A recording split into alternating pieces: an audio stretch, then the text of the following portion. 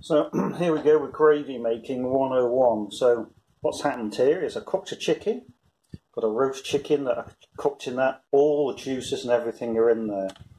So I've taken off the, um, taken out the, um, the, the fat, got rid of all of that lot, and now what I'm doing is just putting some hot water into it, and I'm going to scrape the, uh, the thingies to get as much of the flavour that's in the pan off. So I have to sit there and you have to rub all the little juices. And as you see, as you rub the juices, the colour changes as it releases all that flavour from the chicken back into the water. Once I've done that, I've scraped all the sides, all here, you've gone through the whole pan, just scraping and wetting and scraping, and all that flavour that's been building up on the sides comes off and goes into there, and that's what flavours your, your gravy. Then I'll stick one of these in. I'll put some corn flour in, big ta tablespoon into my cup there, and then cold water into that to mix it up. And then I'll tip that into there at the end, add some salt and some pepper, and then that should be about it. And I'll I'll report back in a bit. So there you go. Now I've scraped all the stuff off the pan, all the stuck on stuff on the sides, and you can see the, the colour has changed to this nice golden colour now. I'm taking all the flavour now off the pan and it looks absolutely ready now for, that's all pure flavour. So let's go to stage two.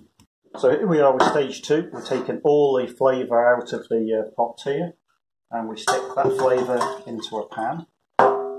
As you can see here, there's still some bits here. So we'll just push this out with a little bit more hot water just to clean the pan off. And this is all about just cleaning the pan and getting all that flavour as we can into a little thing. So that's all the flavour in there. Now let's start making the gravy here. So flavour's in the pan. Now we're going to put the stock in. And that really puts a whole load of uh, extra juices into it. And there's always a lot of stuff in the bottom here. Yeah, that's all flavour. What we'll do is we'll just give that a little bit of hot water. Wash it around a bit. Take that last little bit of flavour. And that's the basis of our now of our gravy. As you can see, there's quite a lot there. And what we'll do now is we'll just let that warm up, bubble down, and then we'll do some tasting and see where we get to.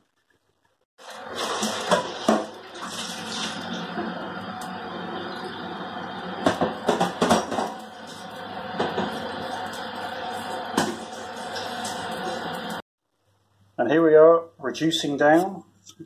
Reduced a little bit, still a little bit more to go. The more you reduce it, the more flavour it takes because it gets rid of the water. So put a heap, teaspoon, tea, you put you put a heap tablespoonful, this much, maybe a little bit more than that, big heap, into your pot, and then mix it with a little bit of cold water. Mix, mix, mix, mix until it's not um, what you call it ever again. Okay.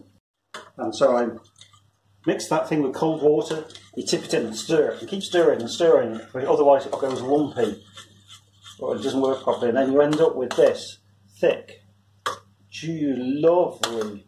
Now you have to warm it back up again because you put cold water in the flour, in the corn flour, and it needs to warm back up again. And as it warms up, it'll start blooping, and once it's blooping, then you can start tasting, and then you'll add salt, pepper. Don't be frightened of putting salt and pepper in plenty of salt. Salt's key to this. Maybe a little bit of balsamic vinegar as well, yeah, just to really give it some depth. And cut. Gravy, done.